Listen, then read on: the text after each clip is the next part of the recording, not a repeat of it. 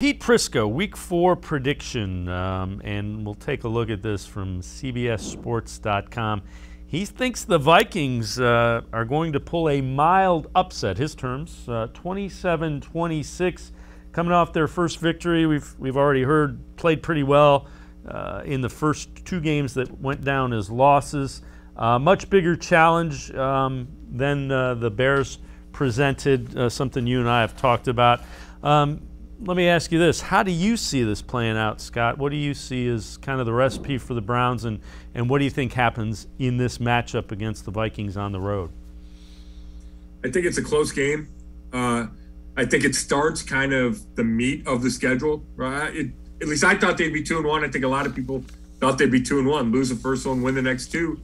And now you get a run here on the road against a good Minnesota team, on the road against a good Chargers team, home to an undefeated Cardinals team. You have the Steelers in there. You have the Broncos on a Thursday night, and they're undefeated right now.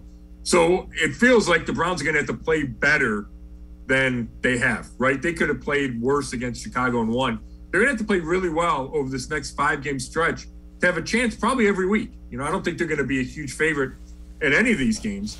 So I, I think it's going to be close. I think there's going to be a good number of points scored.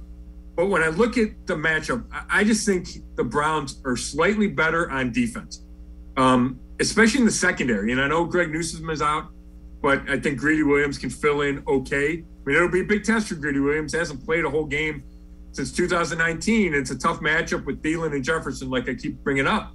Um, but I don't love the Vikings secondary, especially the corners. Patrick Peterson, I think, is getting old. Breeland, it felt like Russell Wilson attacked him early. I just feel like the Browns have just a little bit more talent on defense. I like their offensive line just a little bit more than I like the Vikings offensive line. Um, so I get a close one. I think it could go either way, but I'm going to have the Browns winning 27 24.